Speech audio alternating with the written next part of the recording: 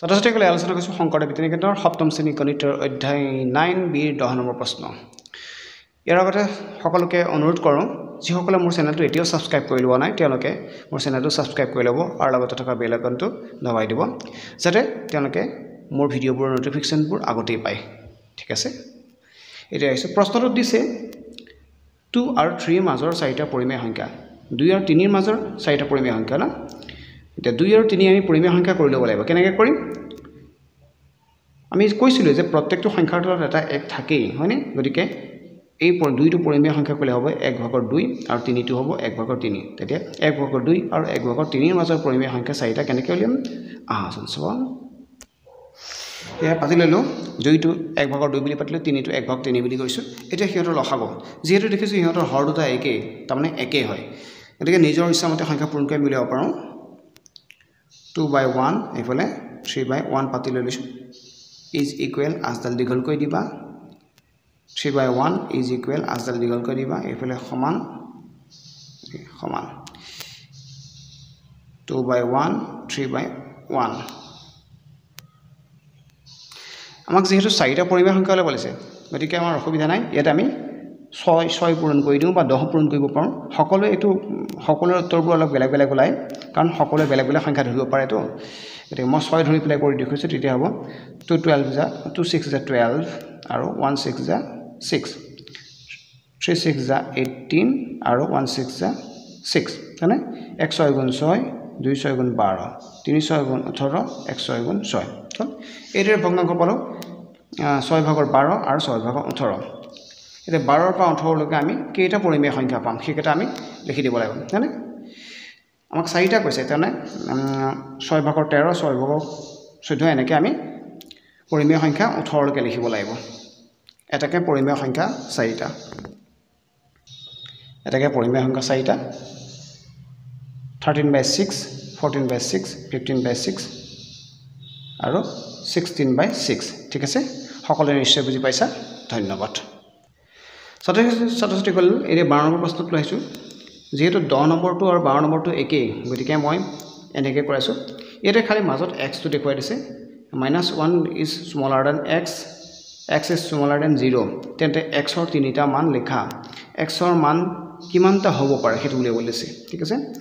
ইহঁতৰ পৰিমেয় সংখ্যাই মাজত আমাক খেলি মেলি ল'বৰ কাৰণে এক্সটো দি দিছে। এক্সটোৱে মাজৰ সংখ্যাবোৰ বুজাইছে তাৰমানে। যেনেকৈ আগৰবিলাকত দুই আৰু তিনিৰ মাজৰ চাৰিটা পৰিমেয় সংখ্যা তেনেকৈ এই এক্সটোৱে মাজৰ সংখ্যা বুলি বুজালে।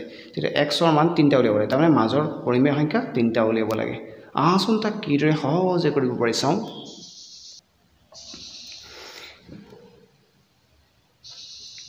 মাইনাছ ওৱান বাই ওৱান হয় যিহেতু ভগ্নাংশ ছিংগল সংখ্যা আছিলে গতিকে তাৰ তলত এক এক দি দিছোঁ জিৰ'ৰ তলতো এক দিছোঁ ওৱানৰ মাইনাছ ওৱানৰ তলতো এক দিছোঁ। তেতিয়া একোটা ভগ্নাংশ হৈ গ'ল তাৰমানে পৰিমেয় সংখ্যা হ'ল। বা minus one by one comma zero' by one বুলি লিখিলেও হ'ল। এতিয়া যিহেতু সিহঁতৰ হৰ দুটা একেই এক এক। গতিকে সিহঁতৰ লগত আমি নিৰ্দিষ্ট সংখ্যা পূৰণ কৰি সেই সংখ্যা উলিয়াব পাৰোঁ। এতিয়া আমাক কৈছে তিনিটা পৰিমেয় সংখ্যা উলিয়াব লাগিছে গতিকে আমি হৰকেইটাৰ লগত চাৰি বা পাঁচ পূৰণ কৰিলে তিনিটা সংখ্যা ওলাই যাম। মই বেছি সংখ্যাও পূৰণ কৰিব পাৰোঁ। সকলোৱে বেলেগ বেলেগ সংখ্যা পূৰণ কৰি পেলাই বেলেগ উত্তৰ ল'ব পাৰে। ঠিক আছে? মই তোমালোকক প্ৰথমে দেখুৱাইছোঁ কেনেকৈ কৰিব লাগে। Minus one by one is equal is equal zero' by one is equal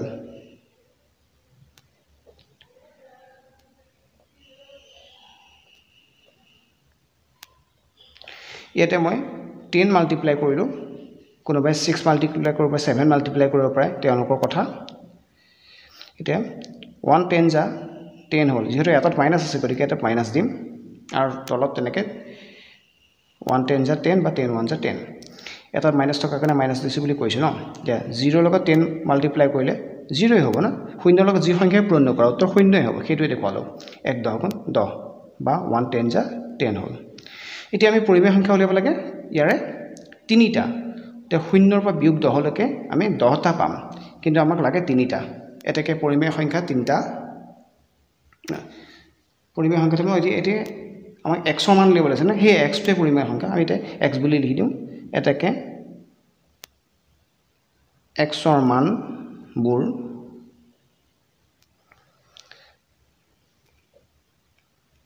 minus one by ten minus two by ten minus three by ten ইয়াতকৈ বেছি লিখিলেও লিখিব পাৰা। তাৰপিছত আমাক প্ৰশ্নটোত সুধিছিলে এক্সৰ মান কিমান পোৱা যাব? এনেদৰে আমি এক্সৰ মান অসংখ্য পাম। এক্সৰ মান আমি অসংখ্য পাম বুলি লিখি দিছোঁ। গতিকে এক্সৰ মান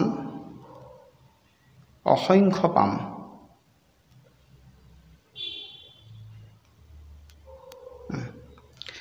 কাৰণটো কৈছোঁৱেই এতিয়া যিহেতু হৰ দুটা একে আছে সকলোৱে বেলেগ বেলেগ সংখ্যা পূৰণ কৰি বেলেগ বেলেগ উত্তৰ ওলাব হয়নে?